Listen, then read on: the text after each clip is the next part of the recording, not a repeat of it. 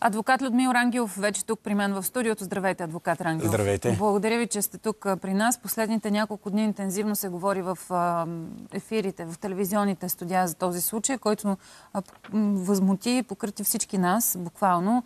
А днес има и национални шествия в над 23 града, ако не се лъжа в цялата страна. Съобщавахме за 20, но вече са около 23. Защо сега чак разбрахме за този случай, след като се престрашиха близките? Това е а, първия въпрос, който аз лично като човек и като жена си зададох, след като това се е случило в края на юни. Поправете ме ако греша. Да, в момента сме края на юли юли. и този човек, извършителя, сочения за извършител, чак сега е задържан. Преди е бил задържан, ама пуснат. Какво се случва? Къде е проблема? Какво е Това вашето обяснение? това се случи, защото близките на пострадалото момиче е, са направили извод, че не се работи е, по техния случай. До, до е, сега, до, за един месец можеше изобщо да се приключи цялото досъдебно производство. Ако, ако се работеше активно. От самото начало, ако се работеше активно. Имаме ли обаче проблем с органите на реда, които в една или друга а, сфера не са си свършили работата? Като под органите на реда слагаме правоохранителните лица, защото в крайна сметка, да, близките са мълчали от а, така надеждата, че се работи по случая, от страх също са мълчали, да. в известен смисъл, защото първите интервюта бяха в гръб на близките на момичето. Това си го спомням пред колегата е. Мартин Георгиев. А, къде, се, къде, къде е пробойната? Къде е грешката? Защо? Пробойната е на много места. Самия факт, че пострадали от престъпление в нашата държава се страхува от извършителя, говори, че правоохранителните органи не си вършат добре работата. Вчера, във вчерашната пресконференция, да речеме този... Какво мислите за тази пресконференция? А, пресконференцията... Адекватно ли беше като... Абсолютно, абсолютно неадекватна в посока и, и МВР, и а, прокуратура. А, директора на областна дирекция на МВР каза, че системно извършват проверки в а, тези заведения за забавления, дискотеки, казина и така нататък. Как тогава допуснаха лице, което е осъждано да работи като охранител, без да има трудов договор, но все пак работи вътре с а, съответната съответното означение на, на гърба и позицията му на охранител му дава и някакво самочувствие, защото в нашата държава всеки, всеки който вдига 140 кг от лежанка и, и е татуиран, е подходящ за охранител. А, що се отнася до прокуратурата... И голям мъж. И голям, да, да. Да е едър, това е достатъчно. Що Аз се... вложих леко ирония. Да. Що се отнася до прокуратурата, очевидно личеше, че са изпуснали случая в началото. Просто за всеки, който има някаква практика в наказателните производства, това личеше очевидно. Сега, сега назначават петорна, петорна експертиза. Петорна експертиза.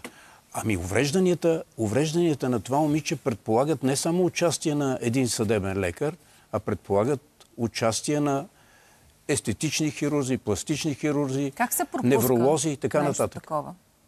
Как се пропускат? Ами вижте, летен сезон. Логични, адекватни, закон, летен разписано сезон. по закон действия. Назначен е някакъв наблюдаващ прокурор.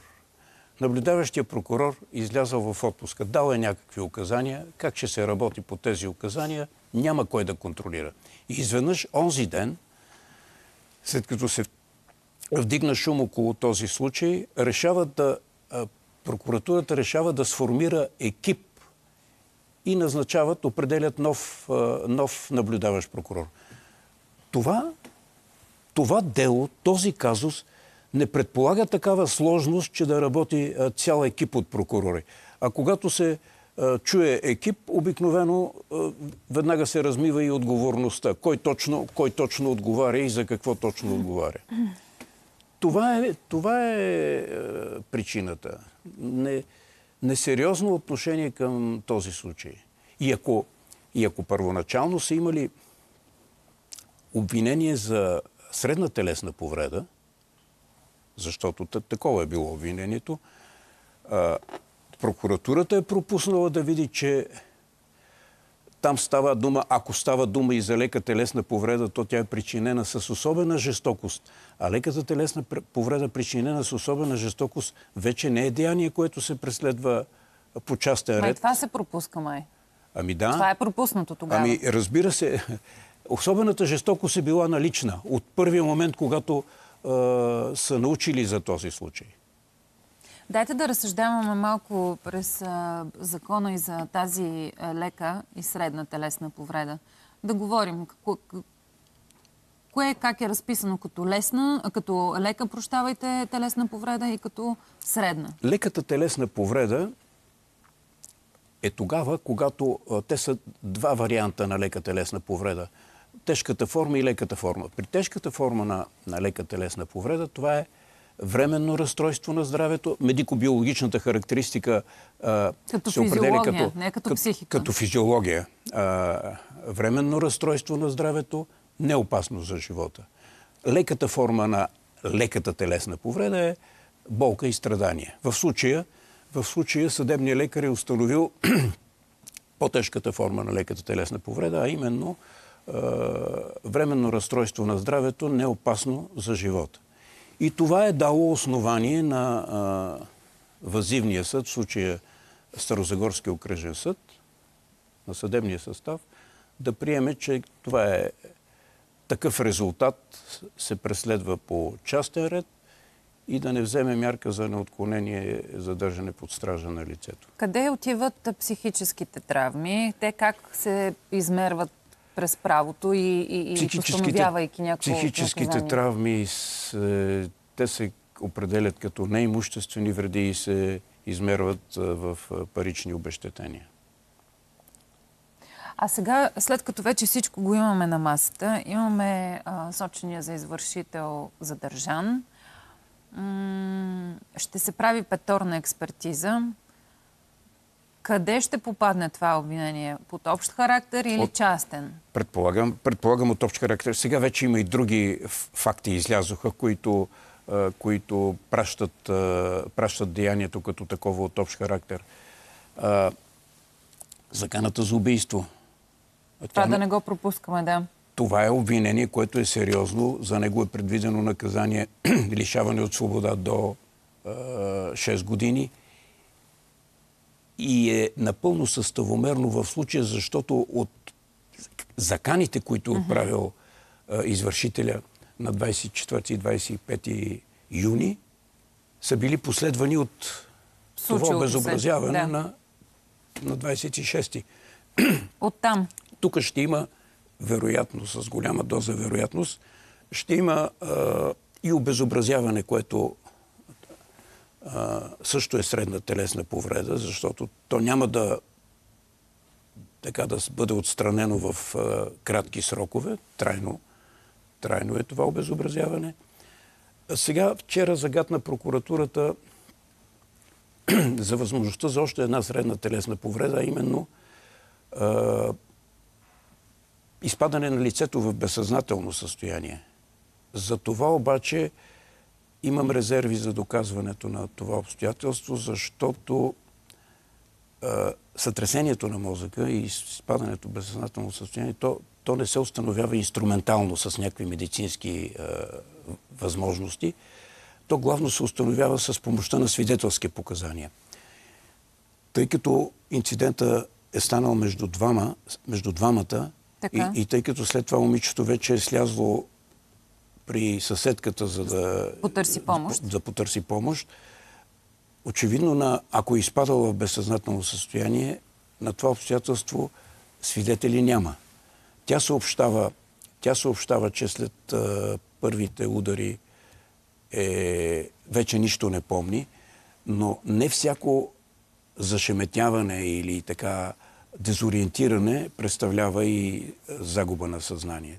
Там е, там е деликатно дали прокуратурата ще успее да докаже подобно обвинение. Какво наказание може да получи наистина? Вие започнахте така да разглеждате закона стъпка по стъпка на база а, възможните обвинения, Въз, които могат обвинения. да бъдат повдигнати. До каква присъда може да се стигне? Сега за средната, ако се стигне до а, средна телесна повреда, причинена с а, особена жестокост, мисля, че така констатация за жестокостта ще бъде направена, наказанието е от 2 до 10 години. Като добавим и другите обаче, заканата за убийство. Когато, когато как се, случва нещата? Да, ще ви кажа. Когато с... лицето е, е обвинено в извършване на няколко престъпления Така. и съдът установи, че всяко едно от тях е извършено, mm-hmm. за всяко едно от тях той определя съответно наказание, като след това остава като действащо най-голямото от така определените наказания. Нали? За едното деяние може да е 3 години, за другото 5 години, за третото 8 години. Остава в сила 8. деянието 8 години, наказанието 8 години. Така стоят нещата. Но това е въпрос все пак на известно период на работа. А, колегата ви адвокат Димитър Марковски също говори пред няколко медии през последните 24 часа а, и е споделил следното изказване. Съдията по действащия наказателно-процесуален кодекс не е задължен да приеме констатациите на съдебно-медицинската експертиза.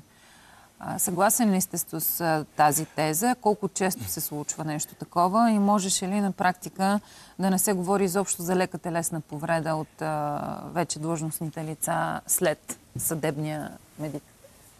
Сега, това не е, е нещо, с което трябва да се съгласявам или да не се съгласявам. То е разписано Да. в закона. Тоест, в закона е такава се е възможност. възможно. Разбира се. такава възможност има. Закона предвижда. Експертизата е за да се ползват специалните знания на експертите, да се ориентира съдята. Но в началния период, когато още доказателствата са малко, работи се съвсем така експресно, съдята не може да пренебрегне а, това, което му е представено като доказателство от прокуратурата. Ако, ако това доказателство сочи еднозначно на а, лека телесна повреда и ако прокуратурата е пропуснала да посочи, че тази лека телесна повреда е причинена с особена жестокост, Да. то на съда не му остава особен избор. Само, колеги, сега ли имаме готовността? Разбирам, че в Съдебната палата на Стара Загора очакваме изявление по, по темата, така че а, се прехвърляме на живо във всеки един момент, в който вече започнат да, да говорят а, магистратите по, по, по същия въпрос всъщност. Имаме Да. готовност. А, продължаваме си с вас разговора междувременно. А, имаме ли проблем с закона? Защото това е поредният случай, в който виждаме а, насилие. Аз не знам този случай дали можем да го причисляваме към а, закона за домашното насилие, защото те са били гаджета, не са живеели заедно. Сега това вие можете да ми кажете. Има ли как да се, да се случи по този начин? Преди две седмици беше променен закона за домашното насилие. Липсва ли обаче някъде там в цялата законодателна рамка а, справянето с такива а, случаи? Госпожо. Инджова, нищо не му липсва на закона. Липсва а, работа. Отговорна, навременна, компетентна. Това е което липсва. Обаче, за да се свърши тази работа, се изискват умни и работливи хора, а в нашата държава те стават все по-малко. Това е проблема. А пък да оставим на страна още а, началото на, на развитието на този човек. Самата, самото структури... Да, самото структуриране на неговата психика, на, неговата, на неговите ценности, там са големите дефекти. Благодаря ви, адвокат Рангелов. Благодаря ви. Отиваме към съдебната палата в Стара Загора. Аз